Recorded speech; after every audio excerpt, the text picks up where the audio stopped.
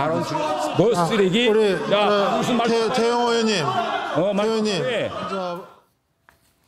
이렇게 막말과 고성, 조롱의 향연이 펼쳐지는 국회에서 의원들이 입을 꾹 닫을 때도 있다는 걸 아십니까? 법안 심사를 위해 상임위 전체 회의를 할 때, 소위원회 회의를 열 때, 쉽게 말해서 활발한 대화나 정책 토론이 필요할 때는 입을 닫아버리고 있습니다. 수치로도 나타납니다. 국회 회의록 빅데이터를 토대로 21대 국회 상임위 전체 발언 수를 집계해 본 결과 총 88만 7천여 건으로 20대 국회 139만여 건, 19대 166만여 건에 비해서 갈수록 감소하고 있었거든요. 발언 수뿐 아니라 발언자 수도 줄고 있습니다. 지난 6월 말 기준으로 21대 국회 상임위에서는 3,664명이 발언을 했는데 20대 6,099명, 19대 7,324명에 비하면 절반밖에 안 됐죠. 이렇게 서로의 생각을 듣고 접점을 찾으려는 토론을 하지 않으니 법안 통과는 무슨 법안 발의도 하나 많아겠죠. 언제가 될지는 모르겠지만 마주 앉아서 밥 한 끼 하세요. 즐거운 만찬은 모든 사람을 화해시킨다는데 요즘 여야 국회의원들끼리는 밥도 잘 안 먹는다고 합니다.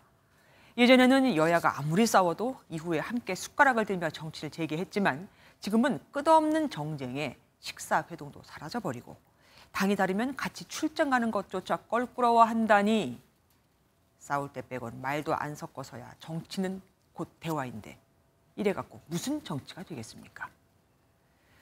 흔히들 내 의견이 잘 통하지 않을 때 말이 안 먹힌다라고 하죠. 그런데 소통이란 무엇을 먹는 게 아니라 먹히는 겁니다.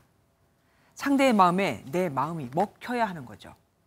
이건 마음을 열어지 않고서는 불가능한 일입니다. 대화가 필요해 우린 대화가 부족해 아직도 모르시겠습니까? 새가 좌우의 날개로 날듯 정체도 여야가 있어야 합니다.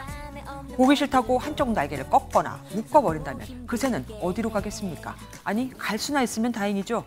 이런 새는 언제 죽어도 할 말이 없지 않을까요? 김조의 그런데 오늘은 대화가 필요해 였습니다. 안녕하세요. 김주화입니다. 공정하고 신속한 MBN 뉴스 유튜브를 통해서도 만나보실 수 있습니다. 특히 더 많은 뉴스와 라이브를 보고 싶으시다면 오른쪽을 눌러서 구독하시면 됩니다. 어렵지 않죠? 빠르고 정확한 뉴스로 계속 찾아뵙겠습니다. MBN 뉴스를 시청해 주신 여러분 고맙습니다.